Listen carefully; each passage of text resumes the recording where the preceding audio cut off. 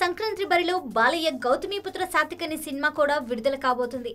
అయితే ఈ చిత్రంలో బాలయ్య సరసన సాతకన్ని భార్య వశిష్ఠిదేవిగా శ్రీయసరన్ నటించిన విషయం తెలిసిందే. మరి ఈ సినిమాలో హార్ట్ యాంకర్ అనసూయకు స్థానం ఎలా? ఇలాంటి చారిత్రక సినిమాలో ఆమె పాత్ర ఏంటి అనే అనుమానాలు కలుగుతున్నాయి. బాలకృష్ణ వందవ సినిమాలో అనసూయకు కూడా భాగం ఉందన్నమాట నూటికి నూరు పాళ్ళు నిజం. కాకపోతే ఈ చిత్రంలో ఆమె కనిపించదు. అనసూయ జస్ట్ తన వాయిస్ మాత్రమే ఈ సినిమాలో వినిపిస్తుందట. గౌతమిపుత్ర సాతుకన్నిలో ఇండో గ్రీక్ యోధురాలు పాత్రను డచ్ మోడల్ ఫరా కరిమి నటించింది. ఈ రోల్కు డబ్బింగ్ చెప్పాల్సిందిగా క్రిష్ అడిగాడు. బాలకృష్ణ వందో చిత్రంలో తాను భాగమయ్యే ఛాన్స్ వదులుకోవటం ఏమాత్రం ఇష్టం లేని అనసూయ వెంటనే ఓకే చెప్పేసిందట. సినిమాలో ఈ రోల్ పదిహేను నిమిషాల పాటు ఉన్న సినిమాని టర్న్ చేసే రోల్ అంటుంది అనసూయ. వాస్తవానికి అనసూయకు డబ్బింగ్ చెప్పడం కొత్తేం కాదు. వేదం సినిమాలో దీక్షా సేత్కు కూడా అనసూయే డబ్బింగ్ చెప్పింది. అయితే యాంకరింగ్ కెరియర్లో బిజీగా ఉండడంతో అటువైపు వెళ్ళలేదట. కానీ ఇప్పుడు శాతకర్ణి రూపంలో బాలకృష్ణ చిత్రం కోసం మళ్ళీ క్రిష్ నుంచే అభ్యర్థన వస్తే